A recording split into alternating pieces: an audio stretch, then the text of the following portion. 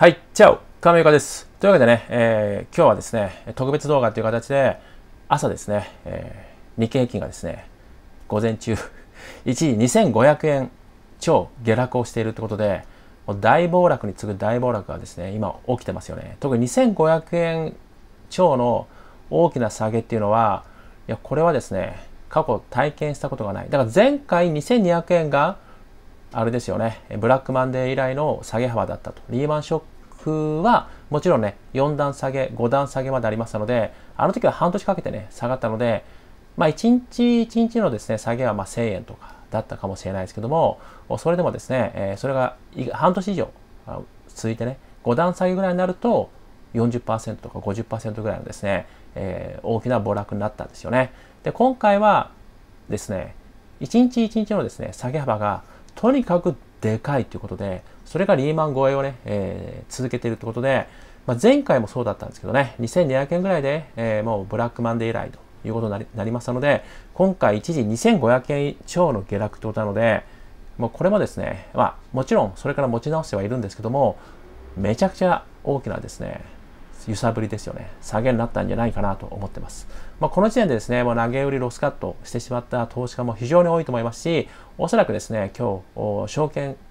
会社にですね、まあ、コールセンターパンク状態でですね、電話、そして避難ですよね、殺到してるんじゃないかなと思います。避難っていうのは、騙されたとかね、いや、いると思いますよ、やっぱりね。証券会社のに騙されたとかね、えー、あとはね、えー、お衣装？そんなのどこに書いてあるみたいなね。見たことないとか、説明受けてないとかね。うん、だからね、やっぱ証券会社っていうのは、そういう暴落が起こるたびに、あれですよね、お衣装ルールとか、信用取引ルールを厳しくしていくんですよね。ここまで昔厳しくなかったですからね。もちろん、その信用取引を始めるまでに、いろいろプロセスはありますけども、今もうやたらにその書面が通知されますよね。この書面を見てくださいと。信用取引ルール見てくださいと。お衣装発生する可能性があるので見てくださいと、お衣装ルール知ってますか？あのクリックしてくださいと。やっぱあれはね、やっぱり電話かかってくるんだと思います。お衣装ってなんだみたいな。え、信用取引やってるのにお衣装ってご存知ないんですか？知らないよみたいな。信用取引は、ね、3倍までね、担保入れたらできると思うけど、まだ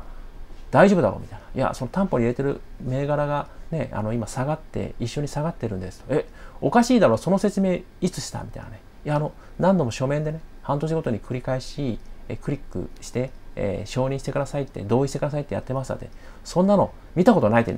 ふうになってるんでしょうね。これはおそらく。まあ、ほとんどの人はね、あのもちろん理解をしてると思いますけども、やっぱこう理解としっかりと振り落とすってことが大事になりますので、信用取引は担保に入れてる銘柄が下がったら、維持率なんか吹っ飛ぶっていう。いうことは、このチャンネルで繰り返し話してきたんですけども、やっぱり、なかなかね、実際にそれを体験してみないと分かんないですよね。次はおそらくうまくやると、やれると思うので、そう考えるとやっぱ今生き残ることが、やっぱりすごく大事になりますね。で、今日はね、まあその話と、今のね、日経平均のね、底ね、どこなのかと。一応ね、予測した底ね、で反発はしてるんですよ。今そこの攻防が繰り広繰り広げられている、繰り広げられているので、まあそれについてね、一応予想したポイントで、えー、攻防しています。なのでそのあたりについて話と、あとはね、後半最後にですね、じゃあ今年2024年冬にかけて、じゃあどういう相場展開を神岡予測してるんだというのをね、先出して話します。もちろん、先出してかなりね、突っ込んで話しますので、まあ、外れる可能性も十分ありますからね。ただ僕は、ここまで揉んで、あ、ここまで下落して、ここで揉んで、ここから反発していくんじゃないかと。日経平均ね。っていう予測を立てます。後半でね、一番最後に。ただこれはね、あの、あえて今この段階で話すので、当然市況がどうなっていくかね、アメリカだってハードランディングがあれば、またね、予想も変えていきますので、そのあたりは、その、一応ですね、えー、今段、段階の仮説としてね、聞いてもらいたいなと思っています。今の段階のね。で、まあ、2500円超下落をしたってことで、年初からの上げを帳消しにしてしまいましたね。だこれを言ってこいって言うんですよね。だからもう言ってこいを僕はね、一番嫌うんですよね。何よりも嫌です。狙っていた銘柄が2倍株になってね、そこで利益確定したものが3倍株になってしまったよりもありますから、実際。三菱重工業なんかもう僕はね、結構早い段階で利確をしてるんですよね。あれから4倍株になってますからね、三菱重工業。僕は2倍株に3倍株ぐらいで売っちゃってるので、まあ儲け損なってはいるんですけども、それよりも僕はね、もっと嫌なのがあるんです。それが行ってこいなんですよね。利益確定する間もなく、含み益がなくなっていくと。なくなってしまった、ゼロになってしまったというのを極端に嫌いますね。なので、今、それが起こってるってことですよね。なぜかというと、年初来からの上げ幅を全部帳消しにしたわけですからね。うん、で、ね、2500円超の下落ということで、今はちょっと少し持ち直してますね。それでも1600円近く、まあ、1700円近くの暴落が続いているということになってますね。この午前中現在ですね。12時現在。で、空売りからのね、えー、やっぱこれ売り浴びせに、ローバイ売りやロスカットが続いて暴落をしている展開ですね。もうね、2500円をつけた、この段階でも投げちゃってる投資家が多いと思います。ちなみにですね、僕まだ午前中から講座開いてないですね。これリアルな話。まあ、うちの社員さんだったらね、聞いてもらえると、聞いてもらえると上岡が講座開いてないっていうのはわかるんですけど、そうこういう時はね、まあもちろん、フルレバとかね、信用取引やっていて、維持率が気になる人は絶対見た方がいいですよ。うん。まあ、これ見ないってことはありえないのでね。うん。これはもう見てください。うん。じゃなくて勝手にロスカットされますから、強制的にね。じゃなくて、まあ僕の場合は、反発ポイントまで来なければ見てもしょうがないんですよね。うん。買っちゃうので、むしろ。買いたいってうずうずしちゃうと思うので、こういう時は、あえて相場から少し離れます。で、自分を冷静にして、客観的に、まあ、第三者目線でね、相場を俯瞰しながら、じっくりと買いポイントを狙っていくということになりますね。で、どこを買いポイントにするかって僕はもう水曜日と話してるので、これはね、えー、もう昨日と一昨日の動画を見てもらうと、反発ポイントは水曜日なんじゃないかということを話してますよね。これも金曜日ぐらいから話してますから、先週のね、ぜひ、ちょっと動画をね、この2、3日のものを、えー、視聴してもらえたら話してますからね、動画でね、えー、ぜひ調べてもらいたいんですけども、今のところそれでね、先物がですね、さらに下がってるんですよね。うん。ということで、えー、これはですね、えー、まあ、あ、でも先物が下がってるってもうこれ見にくいな。ま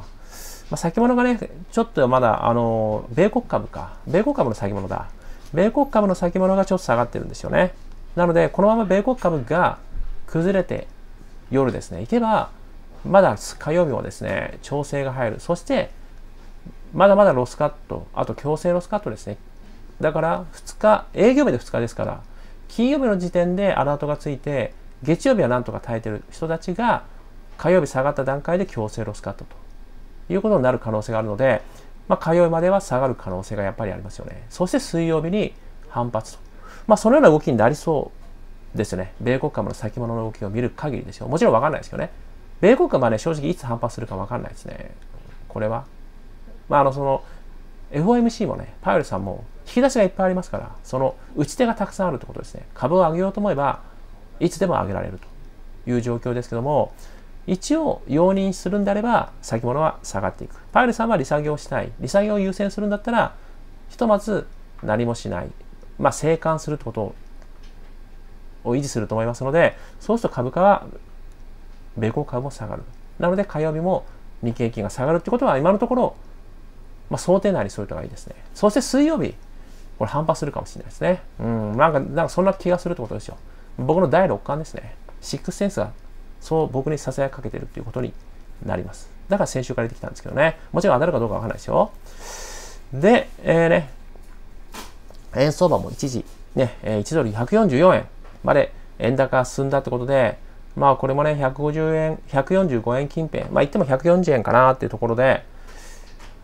まあその範囲で、まあ攻防を繰り広げているということになります。まあこれはですね、輸出産業に対して日本のですね、非常にダメージを与えているということになりますので、えー、貿易関連銘柄ね、大きく下がってますね。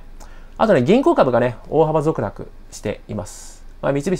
UFJ 銀行とかね、三井住友フィナンシャルグループとか、まあ、軒並み今ね、銀行株下がってますね。まあ、利上げ期待でね、利材が稼げるところで、まあ、注目セクターではあるんですが、やっぱこの大きなね、調整に、やっぱり銀行株も耐えられないということでね、過去最大の下落幅で三菱 UFJ 銀行下がってるみたいですね。チャートの方はね、ちょっと今日は表示しませんので、えー、ぜひ皆さんので、ね、見てもらえたらと思います。まあ、ただ銀行株はね、利上げをしていくんだったら、どっかで反発ポイントあるかもしれないので、まあ別に、ね、三菱 UFJ 銀行がっていうわけじゃないんですけども、監視してね、えー、いろいろご自身の投資タイミングとか、あとはね、好き嫌いとかね、そういうのを含めて、見ていても面白いんじゃないかなと思ってます。まあもちろん日経平均全体が一旦短期反発を終えて、しばらく問題後ね、再び上昇局面に入らないと、さすがの銀行株ももちろんね、えー、逆行高で上がっていくっていうことはないとは思ってますけどね。でね、やっぱり、まあ、こういうところでね、僕はあの冒頭話した通り、とにかく行ってこいが嫌なんですよね。100, 100, 100株買ってね、含み益は30万になって、再び、え、株価が戻ってきて、一度も売ることなくね、30万がゼロに戻ると。今そういった経験をしている投資家が非常にたくさんいると思います。もしくはね、えー、むしろ30万の利益がマイナス10万円になっちゃったみたいなね。まあ、そういったこともあると思いますよ。で、やっぱね、株で買い付けるために重要だが、なぜか95%の人が知らない一つの常識についてね、今日はね、話したいと思うんですけども、やっぱ大きく儲けようとして10倍株を狙っても、実際に10倍になることってそうそうないんですよ、確率的にはね。うん、確率論確率論で考えると。そして、ほとんどの人が10倍になる前に売ってしまうケースが、まあ、ほとんどですよね、こちらもね。で、ましてや、暴落、暴落やね、大きな下げで売らされるならね、うん、こういった今のタイミングでですよ、もう引かされながら、えー、仕方なく、しぶしぶ利益確定するとか、うん、とかね、もう、もう、あの、老媒売りですよ。してしまうぐらいだったら、むしろ細かく波動を刻んで、これね、えー、2倍で細かく勝っていく方が、正直現実的だと僕は思ってます。2倍株ね。うん、2倍株だって、正直、そうそう起こらないですよ。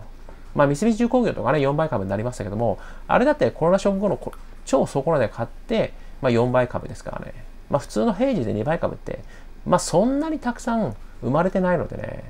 まあ、2倍で細かく勝っていく方が正直現実的なんじゃないかなと思ってます。途中で何度もね、うねりで、えー、売買しては下がったところで買い戻せばいいわけですから、再び下がってくるわけですから、そういうところを買い直すと。まあ、そういった方法のが正直賢いんじゃないかなと僕は思ってますね。で僕のやり方なので、まあ、それはね、まあもちろん人それぞれで性格とかね、資金量とか、まあ戦略が違いますので、まあ少なくともまあこのチャンネルでは僕はそれをね、えー、よく伝えて、えー、精通してますよね。こういったやり方がいいと、もほとんどこのやり方しか伝えてないと思いますね。うん、でその方が相場を泳ぎやすく、何より技術の習得ができると。ここがね、結構大事なんですよね。技術は持っているだけじゃ高まらないんですよね。例えば10倍株になるまで、えーね、持ち続けて、実際に300株ね、えー、10倍株になったとしましょう。そこまで行くのに8年かかったとしますよね。海運株とかね、えー、実際にそうなっていると思いますので、で、えー、100万円儲かった、やったとなりましたけども、実際に8年間もずっと持ち続けて何も売買していなければですよ。たとえその投資歴が8年であっても、技術はレベル2ですね。うん、そのスライム1匹倒すのとそんなに変わらないですよ。10倍株、天馬号を当てたとしてもですよ。それは運なので、うん、はっきり言ってね。となると、やっぱり売買の回数、トライエラーですよね。トライエラーの回数が成長につながるので、やっぱり投資の技術を上げようと思うと、ある程度売買回数ですよね。回転回数も重要なんですよね。別に、あの、むやみやたらにポジポジポジ病を発生させて、回転売買しましょうと言ってるわけじゃないですよ。狙って2倍株をしっかりと細かく刻んで買っていくと。利益、液出しをしていくと。で下がってまた暴落が始まったらまた買い戻すみたいなことをやってれば、自然と回転売買、売買回数も増えますからね。まあそういった形で技術を高めていくっていう方法も結局あるし、結局最終的にゴールに近近づくのは、天馬川狙いで長期保有、うん、何もしないほったらかしか、あのー、しっかりと2倍株で回転売買して技術を高めていく投資家、どっちが一番最後に、まあ、1億円だとします、資産がね。資金、資産、投資資金1億円を目指すんだったら、どっちのが先にゴールいくかというと、僕はやっぱ後者だと思いますね。正直な話。で、これがね、じゃあ、その、積立 NISA だったらまた別なんですよね。その積立 NISA と個別株投資、あの、ルールとか目的が違うのでね、積立に、積立 NISA も無思考。もうレベルとか技術とか関係ないですからね。ひたすら銀行から自動引き落として、えー、入金すればいいだけなのでね。で、ひたすら二口、一口と買って売るだけなんですよ。あれ投資じゃないのでね、積み立てなので積み立てね。まあ投資、うん、まあだから正確には投資してないですよね。預貯金の代わりに積み立ててるみたいなものなので、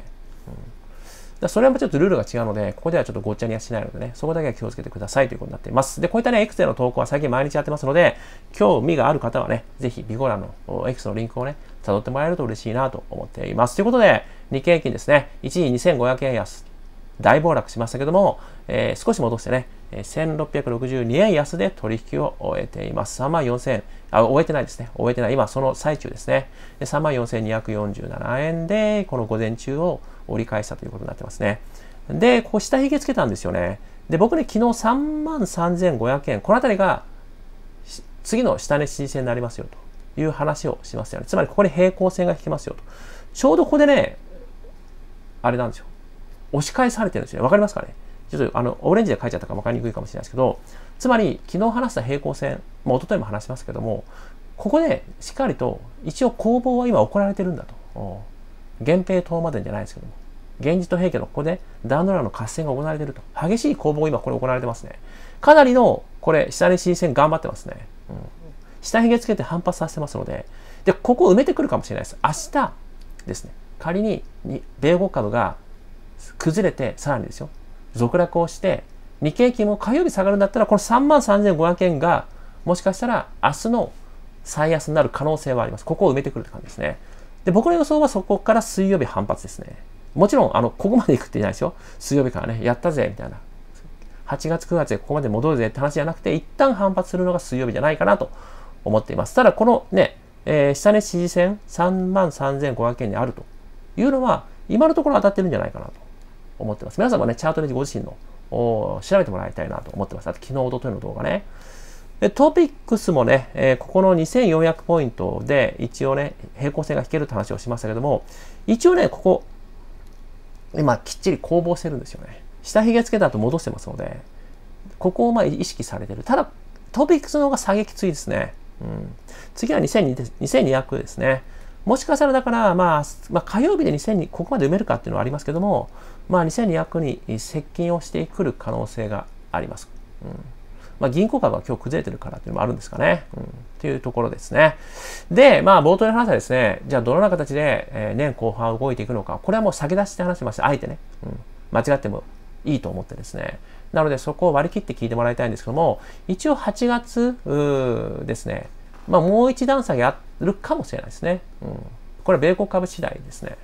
米国株がここからハードリセッションかソフトリセッションか分かんないですけど、リセッション宣言されて大きく下落をしていくんだったら、もう一段下げある。